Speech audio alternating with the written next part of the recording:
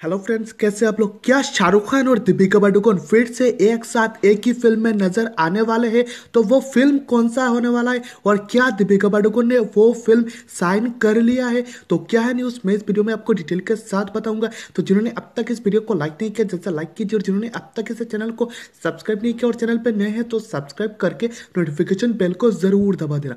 तो फ्रेंड्स चलिए शुरू करते हैं। तो फ्रेंड्स क्या शाहरुख खान और दीपिका पाडुकोन फिर से एक साथ एक ही फ़िल्म में नज़र आने वाले हैं तो वो फ़िल्म कौन सा है? उसके बाद मैं आपको बताऊँगा कि दीपिका पादुकोण ने ये फ़िल्म साइन किया है या नहीं। तो फ्रेंड्स फ़िल्म का नाम है जो वायर प्रोजेक्ट फिफ्टी में जो शाहरुख खान का फ़िल्म होने वाला है, जिसे डायरेक्ट करने वाले सिद्धार्थ आनंद, उस फ़िल्म में शाहरुख खान के साथ दीपिका पादुकोण नज़र आ सकते, ऐसा न्यूज़ निकल के सामने आ रहा है। तो फ्रेंड्स पिंक विला ने यह रिपोर्ट दिया है। उनके न्यूज़ के मुताबिक, जो अपने स्क्रीन पर देख सकते हैं, उन्होंने क्या कहा?